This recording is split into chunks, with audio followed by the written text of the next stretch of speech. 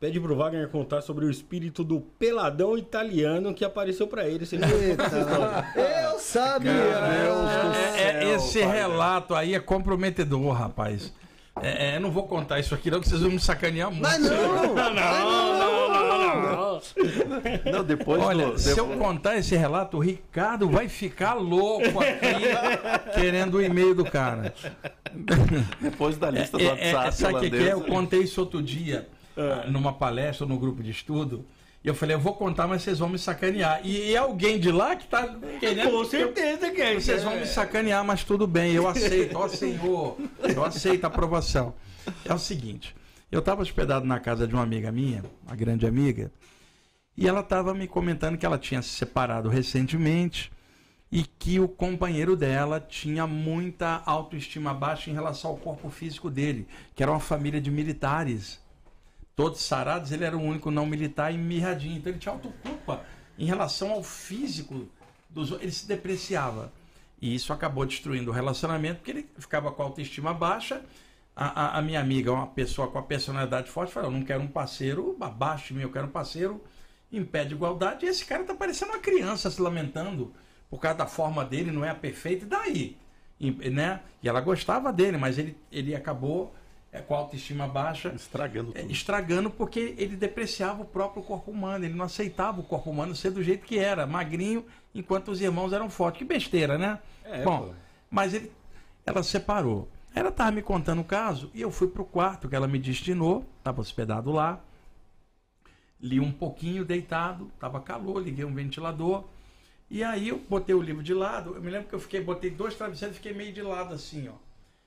E aí eu fiquei paralisado, entrei numa catalepsia projetiva, totalmente acordado, mas já num estado alterado, é claro.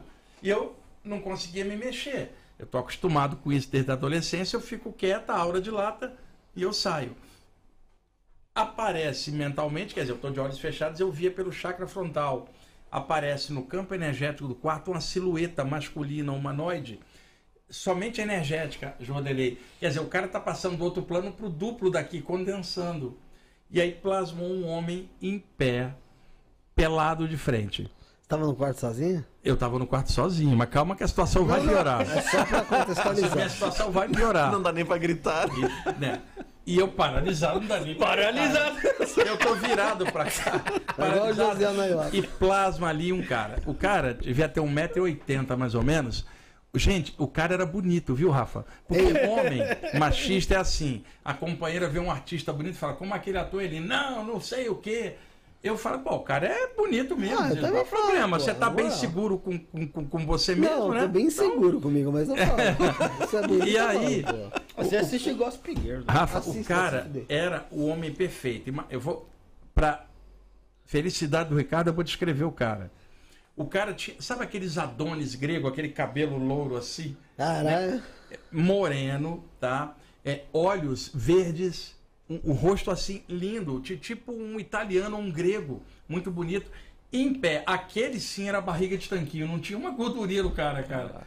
Em pé na frente, o pinto dele pendurado lá, mas tamanho é... standard. Caralho! standard é assim, normal, vamos dizer assim. Ali pra, no ar. Dormindo. E detalhe, os olhos brilhando e me olhando com uma simpatia, eu paralisado. Puta, fudeu. Ferrou, ferrou. Bom, e Ainda eu sabia bem. que vocês iam me sacanear. É cilada, Bino. É cilada, Bino. E aí, gente, e, eu senti, e aí começou uma energia, eu senti uma energia muito positiva. Né? E aí ele mentalmente falou assim: nós nos conhecemos desde a época do Império Romano. Essa época, eu... tinha, essa época tinha bastante menino. É, exatamente, né? e aí começaram a ele começou a plasmar a imagem na minha mente dessa época que nós éramos muito amigos. E, e aí ele falou comigo, ao longo do tempo, nós fomos perdendo contato. Né? Olha bem. Saudade. E ele falou para mim, na minha última encarnação, que tinha sido anos antes ali, eu era um italiano modelo profissional. Por isso a minha forma era perfeita, porque eu cuidava do meu corpo, que era o meu elemento de trabalho, minha profissão.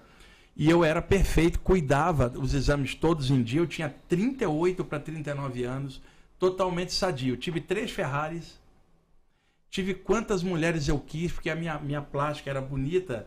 E eu saía com uma, com outra, mas não ficava com ninguém afetivamente. Eu só estava ali igual os carros para mim, objetos. sur- curtindo Eu vivia em função do meu corpo, Tá só, pe- só pensava no meu corpo, não pensava em mais nada além. Tudo eh, girava em torno da minha forma, da minha plástica bela e, e as vantagens que eu poderia obter disso.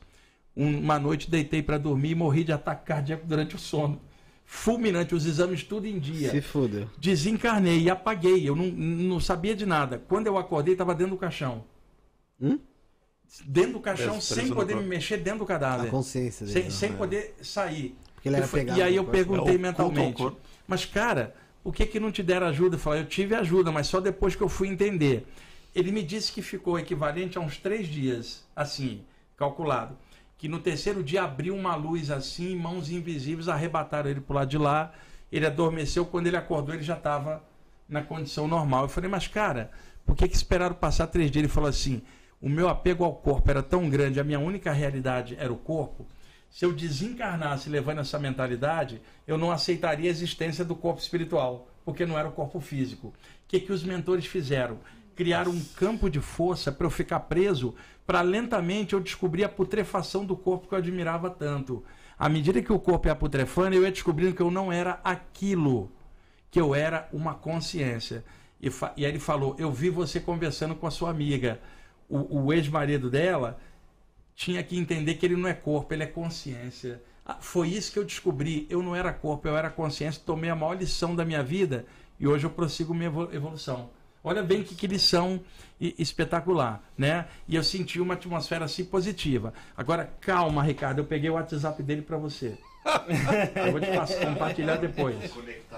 Foi esse, e, e esse sacana aí que mandou o relato, ele deve ter escutado eu contar isso um dia. Falou, pô, vou sacanear o Wagner lá no Isto Não É Podcast. Mas eu conto isso na boa. Foi uma experiência, assim, muito interessante. Agora, Felipe, o cara era bonito, viu, cara? Porra, tô imaginando. Já Imagina, o cara era, era um homem perfeito ali, dá mas se lascou no final. Me dá até uma coceira aqui falou-